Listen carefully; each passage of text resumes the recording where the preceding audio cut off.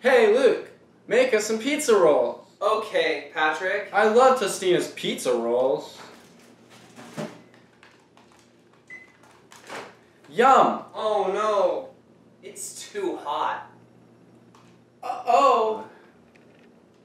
I know. Put them in the reverse microwave. Okay, I'll do that. It decomposed. What? What do we do now? I don't know. Reverse microwave is technology there a while, been around for a bit. So how come it's so confusing? We're introducing the brand that's new by Sharper Picture Reverse Microwave. I reverse microwaved my dog peanut butter, and now I have real peanut butter. I reverse microwave my dog, and now I have a puppy. I microwaved my cat. We can even make ice cream with a reverse microwave. Watch.